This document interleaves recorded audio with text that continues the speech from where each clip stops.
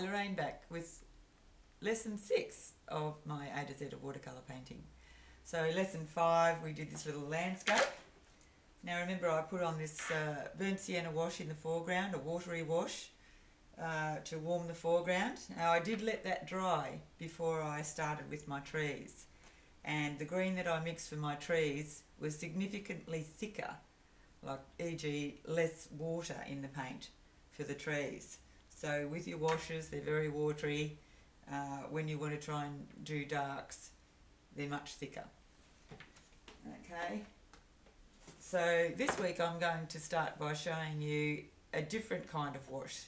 I started here with a flat graded wash and this week or this lesson I'm going to do a varied wash but on wet paper. So you just float the paint on the top of the paper. We start off with clean water. And so this is a nice big Taklon brush. And we want that bead of water at the bottom, all the way down, wet paper. Uh, this is a good way to just control the wetness of the paper. Whereas if you spray it on or just dump a whole lot of water in the middle of the paper, you'll get inconsistent wetting. Uh, the dry areas the paint won't flow on and where it's too wet the paint will pool. So I've just come right down to the bottom. So the paper's really shiny. Don't know if you can see it there, real shine on the paper. But when you look sideways at the paper, there's no big pools of water. Sometimes your paper will buckle when you do this. Uh, even though it's 300 GSM paper, it might buckle. So in order to get around that, you just get a spray bottle and spray the back with a mist of water. And uh, then you'll have wet both sides and that'll overcome the buckling problem. So now I'm going to lay my board completely flat. And I need um, a wash of cobalt blue. Now these colours have to be really clean.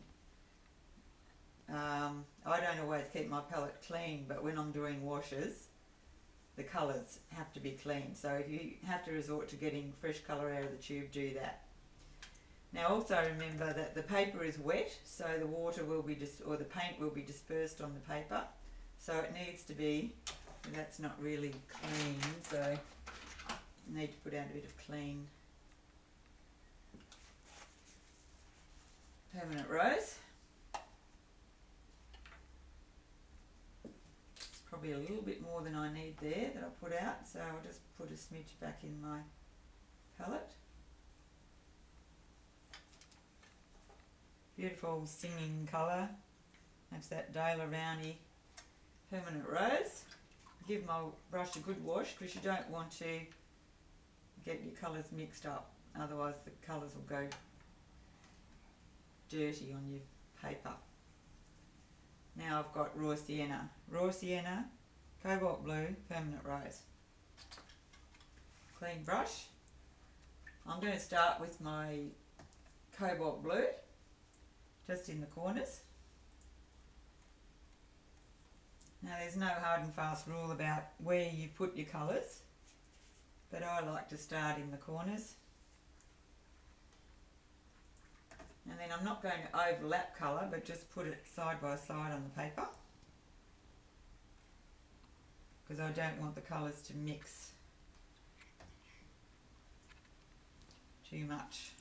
So I've got a bit of permanent rose here.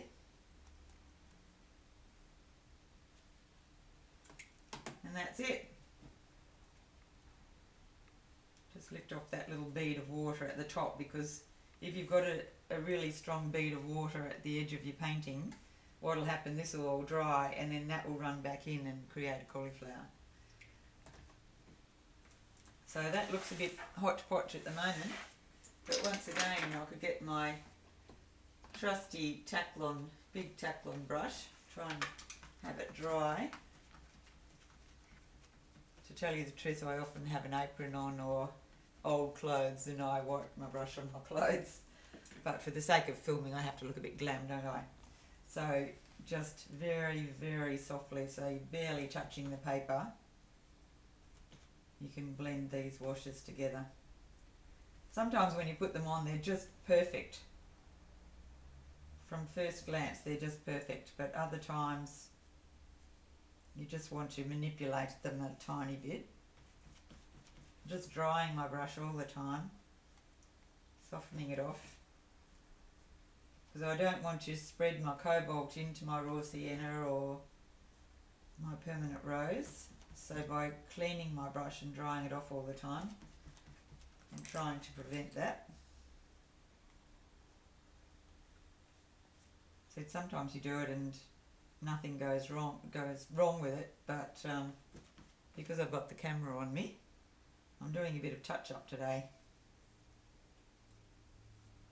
But there are always ways to overcome problems. People think, oh, you make a mistake in watercolour and you have to throw the whole thing away, but that's not the case at all.